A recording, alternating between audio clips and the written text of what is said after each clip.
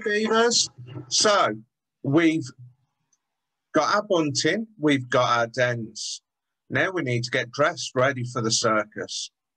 So what I want you to do is you can either come in fancy dress costume or we paint our faces. Now, whether that's painted as a clown, an animal, a tiger,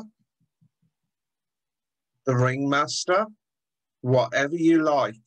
Don't forget, take photos, upload them to Facebook with the hashtag Scouts HW Circus. Can't wait to see them.